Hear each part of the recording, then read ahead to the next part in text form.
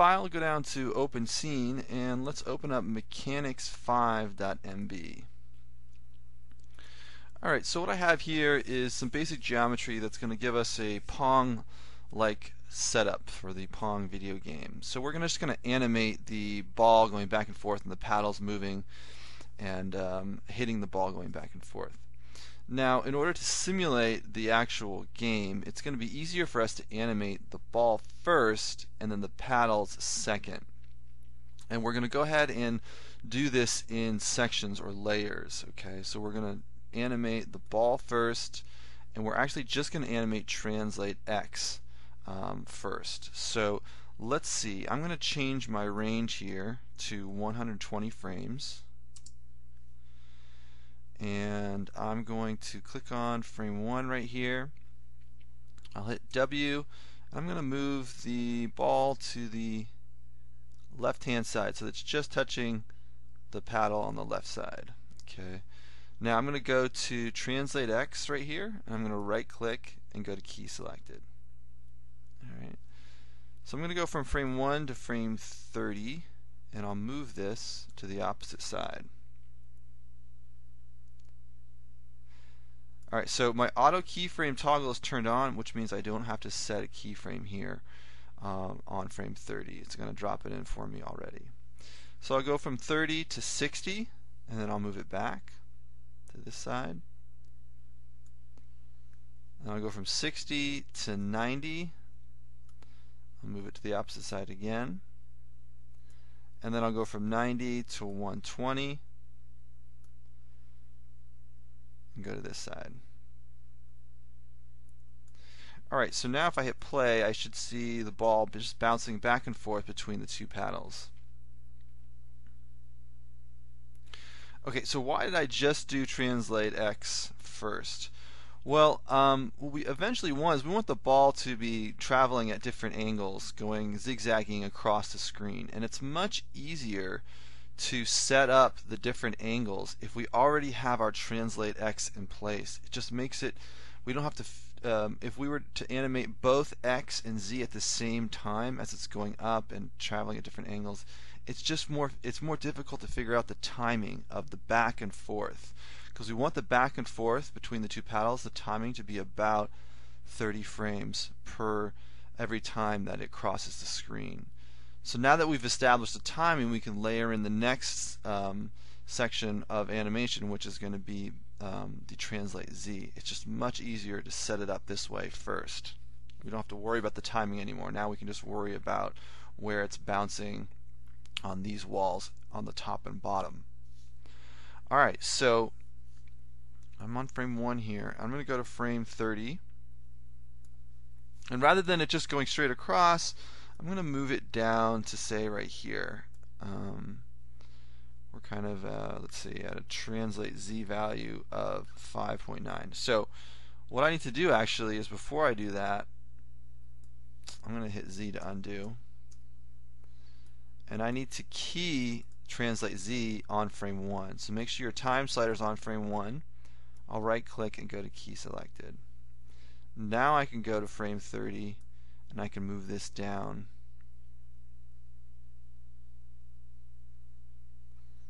Okay. So if I scrub back you can see it's starting where we want with a translate z value of 0 and now we're going to go down. Okay. So now I want the ball to bounce based on the angle it's traveling this diagonal angle I want to come down and bounce right about here. Alright so all I have to do I don't um, is just scrub until I get to the point where I want it to bounce, which is about at frame 37. Okay, so now I'll just move it down. Okay, it's going to auto key in that keyframe, so now I can see the trajectory here.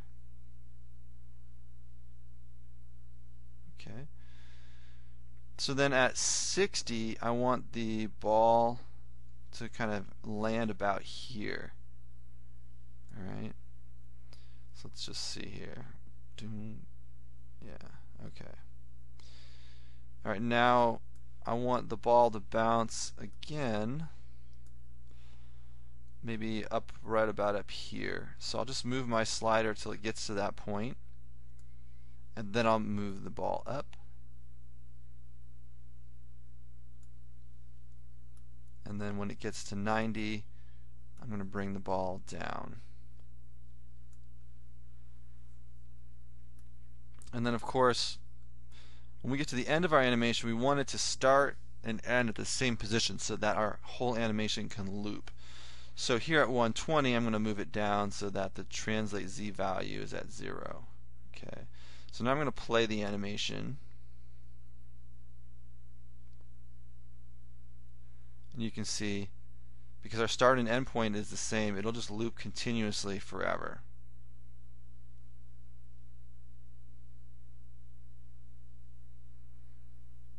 Alright. So now that we have the ball bouncing, and we have the completed ball with the correct path, now we can animate these two paddles. So I'm going to go to frame 1 here, click on the, um, the paddle on the left hand side, and I'm going to right click over here in the channel box and go to key selected on translate Z.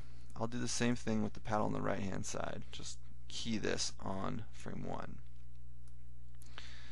Now the paddle's going to have to move down this um, right hand paddle is going to have to move down here uh, to connect on frame 30. But we don't want it to start moving at the beginning. We want it to appear like this is going to stay here until the player, when he's playing the game, is going to react to the fact that the ball is going down here. Okay, so we want a delayed reaction. We don't want this to start moving from frame 1. We want it to start moving from about frame 25. Okay, so that means we want it to stay uh, here at 0, translate z at 0, from 1 to 25. So we'll just key this again here at 25. And then at 30, we'll move it down. Okay, so this is what this looks like. It's staying stationary, and then at the last moment, it slides down. Okay. All right. So now the um, paddle on the left hand side here on frame 60, it needs to contact with the ball. So that means we'll go to 55 and we'll just right click and go to key selected to set a new keyframe here. And then at 60, I'll move this up. So you can see here that paddle is also reacting at the last moment to the fact that you got to see where the ball's going first before you move that paddle. Alright, so let's see, we're going to bounce here, and then at 90, this needs to come up. So we'll go to maybe 80 because this is traveling a long distance. I'll select the paddle on the right hand side. I'm going to right click and go to key selected, and then at 90, I'll make contact here.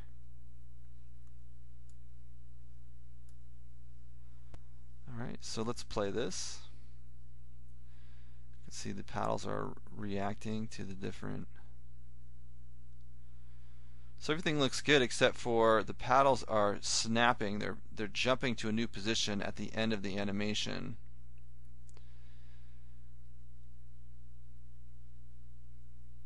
Alright, so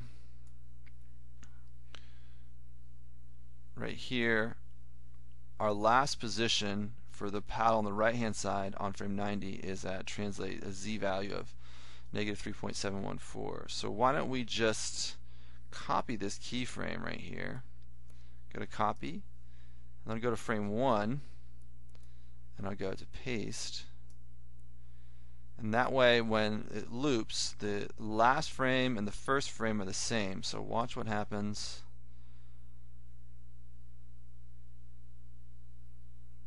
Okay, so now we have the problem of this is going to slide down to 0. So we need to copy, for this, we need to copy frame 1 and I'll paste it on 25.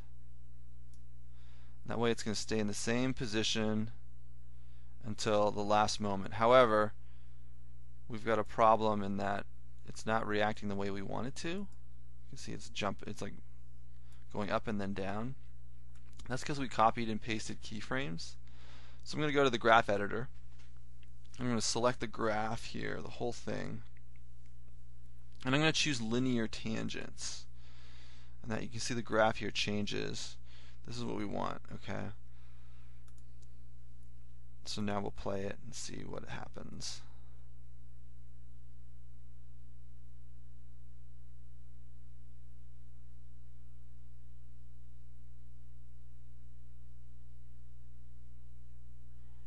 Okay. So I think here on 25 we should give us give ourselves a little bit more time for this. Um, so we'll move that keyframe on 25. So I'm going to select that keyframe, press W for my move tool.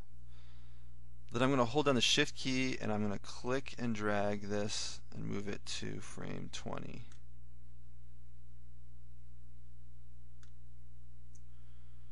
Okay. So I'm going to play this now.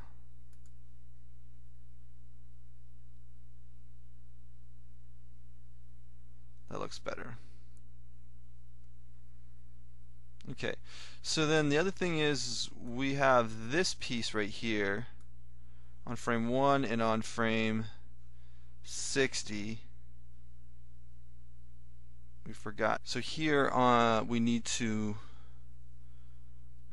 get this paddle on the last um, section right here to connect. Alright, so starting at maybe 115, we'll key this in. Good key selected. And then at 120, going to move this down.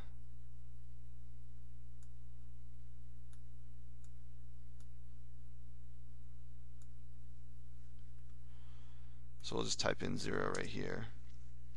And now I'll play this again.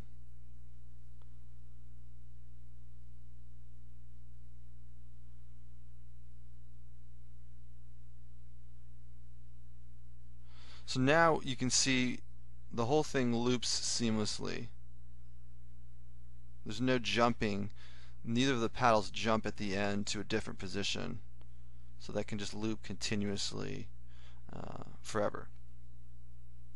Okay, so that's the end of the exercise. Make sure that you save your work and don't forget to send a copy of your Maya file to the Dropbox for credit.